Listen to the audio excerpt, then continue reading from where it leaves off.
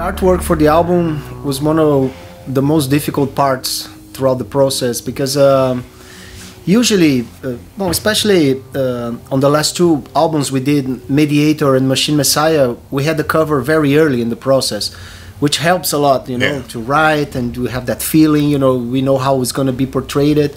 And uh, Mediator had that, you know, dark uh, aspect to it, and Machine Messiah is completely different, very colorful and stuff. So uh, for Quadra was a little more difficult, you know, because the concept is really wide. You know, we could use many icons or many ideas. Um, so I talked to a lot of people, you know, including band members, uh, friends, artists, photographers, whatever, people that worked in artwork for different bands and stuff.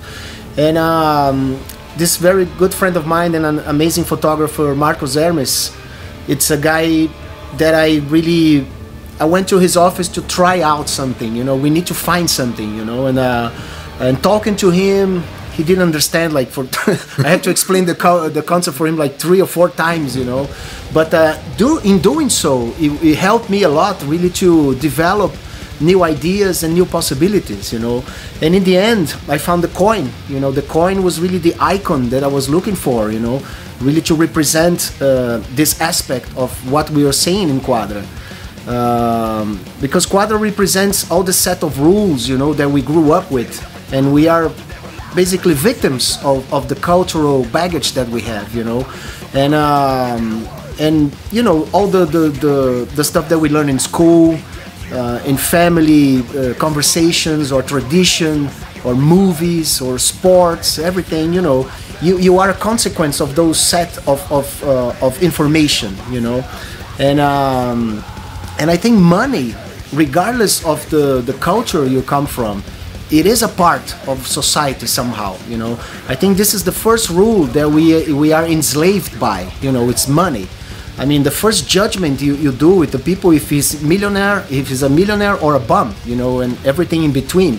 And according to your judgment, if he's rich or not, you you, you, you deal with that person. You know. Uh, I don't know. I'm not gonna invite a bum to have dinner at my house or something. you know that yeah. kind of stuff. You know. So stereotypes, all that kind of stuff. You know, and money. I think was the the main. Uh, it, it is the main reason we are enslaved by. You know, And money. it's no matter what quadrant you come from or where Exactly. you are, it rules you. You know, whether it's food you need to survive, shelter you need to to die, you need money. you need money to pay for funeral or the cost it's going on to somebody else. So it's it's consistently enslaving us, uh, no matter where you are, what race or anything, and we all abide by it, and we never question. and money is an illusion you know because you, you, you need at least two people to agree a piece of paper have a certain value you know? And uh, and even with that value you have a 50 euro on your pocket or something 50 dollars whatever. And then tomorrow donald trump says another stupid thing and then that comes down to 30 dollars or something. But it's the same piece of paper you know? It's just a concept that people kill and die for it. But it's just an illusion you know it doesn't exist. It's something that we agree upon and then we live around it you know? So that's why i think the coin was the main uh, icon who, who could represent this set of rules you know the rule number one you have to have money to survive. And all the rest you know like uh, comes after you know uh, where you come from, if you are Brazilian, if you're white or black, if you're uh, homosexual, if you're hetero, I mean, all the concepts that comes if you're communist or capitalist, whatever, you know, if you root for Cavaliers or Lakers, you know, it, it depends on where you come from and stuff, you know. But the mo- money was, I think, the main thing, and that's why the coin is there.